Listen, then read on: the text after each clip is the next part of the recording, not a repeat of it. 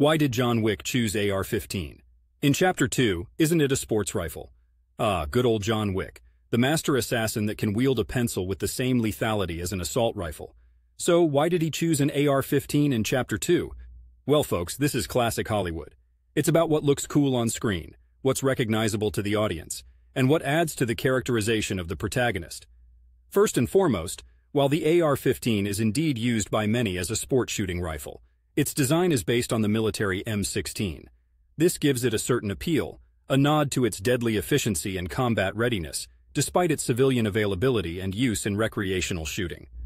In John Wick Chapter 2, John doesn't just pick any AR-15, he opts for a tricked-out version.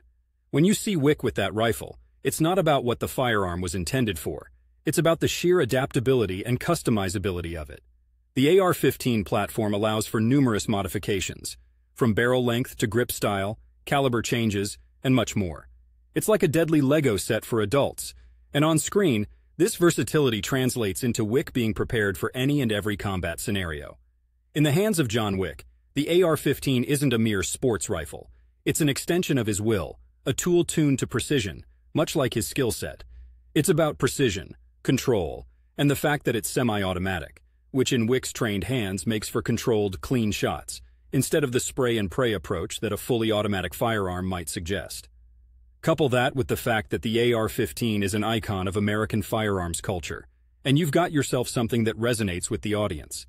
It's cinematic shorthand for badass with a gun, and if there's anything that John Wick has taught us, it's that he's the epitome of badass, no matter what he's holding. Lastly, let's talk about the movie magic and practicality for the film creators. The AR-15's ubiquity makes it easy to procure for filming, and its popularity means there's a plethora of blank-firing replicas and airsoft versions which are ideal for safe, realistic on-screen action. So while the AR-15 may have roots as a sports rifle, in John Wick's universe, it's a symbol of lethality and adaptability, a testament to his unrelenting force.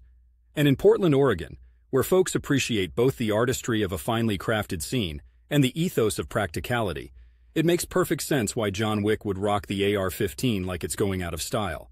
Because for him, in that rain of bullets, nothing else could fit the bill quite so perfectly.